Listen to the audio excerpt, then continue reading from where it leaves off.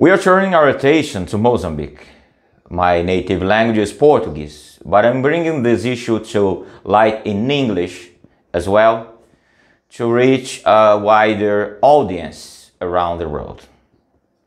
The United States government has condemned the killing of the opposition figures in Mozambique.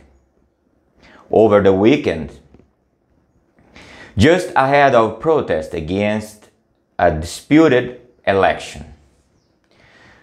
The State Department is calling for a swift and thorough investigation into the death, which have sparked unrest in the capital, Maputo.